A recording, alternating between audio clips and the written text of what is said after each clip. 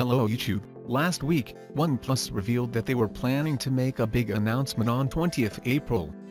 All signs pointed towards the OnePlus 2, new gaming hardware or a power bank.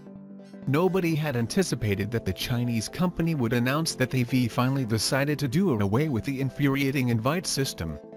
So, starting today the 64GB Sandstone Black and the 16GB Silk White variants will be available without an invite forever, on Amazon. You will get the direct link to buy OnePlus One from the video description. Thanks and watching.